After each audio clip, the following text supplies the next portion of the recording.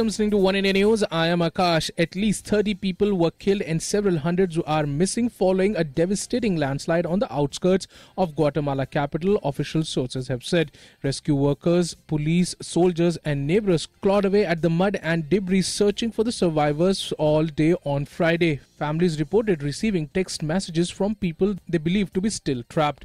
Authorities said that 600 people are still missing at an estimate based on 125 homes that Thursday's landslide destroyed or damaged after heavy rains. The landslide was triggered by heavy rain late Thursday in the town of Santa Catarina, Pinula. 34 people were pulled out alive from the mud and rubble while 25 others were injured, official sources said. The municipal authorities had recommended the community to relocate last year. Well, that's all for now. But for more news and updates, log on to our YouTube channel www.youtube.com